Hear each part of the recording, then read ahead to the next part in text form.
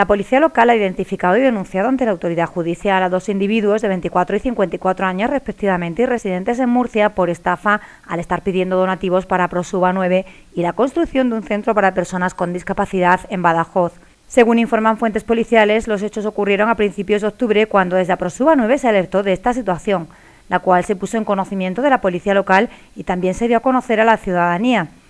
En concreto, lo que se había detectado era que varias personas estaban solicitando donativos para la asociación sin tener nada que ver en tal actuación.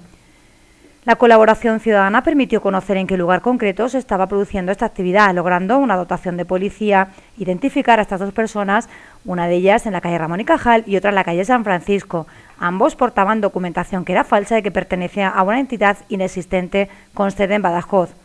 entidad para la que pedían donativos para la construcción de un centro mientras que en otros casos se tenía también conocimiento de que se estaba haciendo lo mismo en este caso para la Asociación Aprosuba 9 con sede en Villanueva.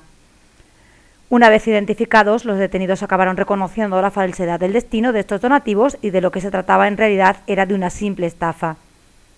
Desde la policía local se vuelve a llamar la atención sobre estos grupos que solicitan donaciones para Prosuba 9, colaboraciones en revistas de policía local o de otras asociaciones, son meramente estafas y en concreto en el caso de Aprosuba 9 nunca realiza este tipo de prácticas.